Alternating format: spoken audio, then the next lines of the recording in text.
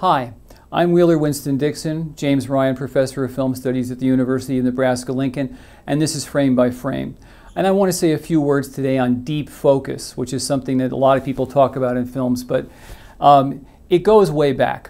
The Lumiere brothers, who were some of the pioneer filmmakers of the medium, made some of their early films like Snowball Fight and Digging Shrimp and Workers Leaving the Lumiere Factory and other films like that. And basically what deep focus means is it carries all the way from the front of the shot all the way to the back of the shot. In other words, it's in focus all the way from right in front of the lens, all the way it's back as far as the eye can see.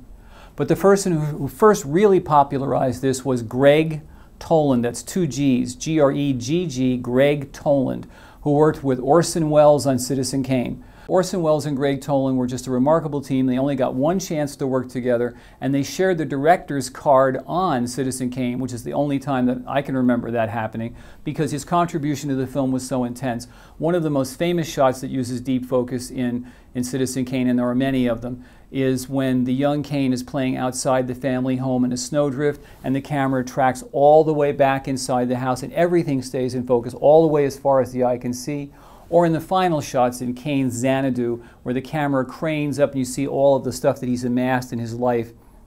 And the camera, again, can show you as far as the eye can see. Deep focus gives you a sense of the camera encompassing the world, and used properly, it's a fantastic cinematic technique that you should notice the next time you see a film. I'm Wheeler Winston Dixon, and this is Frame by Frame.